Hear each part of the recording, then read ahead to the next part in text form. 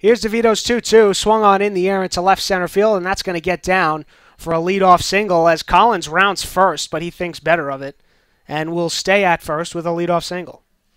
It's good at plate at at it was a good plate appearance uh, for Isaac Collins. Really stayed on that last pitch and, and just pushed it out into the uh, gap in left field.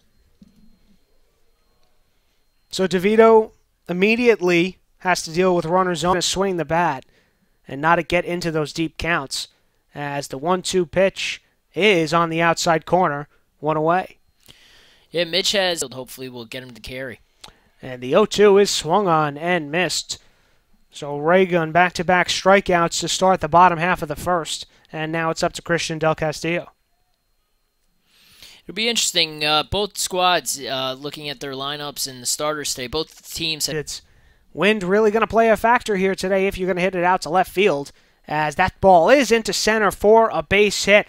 Hovey's going to be uh, held up at third, actually, as Wegner the runner at second, and Vilches is the runner at first. As DeVito's pitch is lined into center field, Shed's going to have to play it on a hop. That's a base hit. Hovey will score, and the Blue Jays are now up 1 0. Creighton's doing exactly what they like to do just get the base hits. Haven't mashed the ball too much today, and uh, just going base hits and taking the opportunities that the Pirates have given them. Looks like uh, gonna have a timeout. Coach Pat Pinkman gonna go talk to Ricky in the infield. And DeVito's one one. That's gonna be over the glove of Villa. The play at the plate, and there is none. As Wegner comes in sliding to the plate, that'll be a wild pitch on DeVito that allows the run to score. Just having a couple tough breaks this inning for the Pirates. A couple hit by Pat hit uh, batters, and now a wild pitch scores a run and. Uh, you know, it's it's tough. I bet you if you asked Villa, he would be upset he missed that one as well. So uh, just got to regroup and get get right back at this batter. Yeah, we'll see what the official scoring is on that one, but my guess would be a wild pitch. As Collins still has runners in scoring position now, it's just not the same ones. Vilches is now at third with Hanifin at second. As here's the pitch and swung on and fouled down the first base line. I always wonder in, in games like this, you know, crowd's nice. We've got some scouts in in uh, do. here as well as family and friends. Nobody running after the foul balls. That's a good point. There's, somebody's probably gonna put the Jets on at some point and go collect all the uh, all the foul balls. How long's our break in between innings? Uh, it's about a minute and a half. As the pitch to Collins comes inside, and that'll load the count at three and two.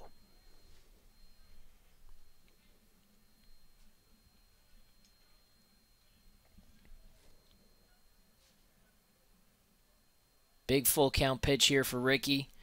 Doesn't have has a base open, so doesn't have to be a perfect pitch, but uh, give him something to look at.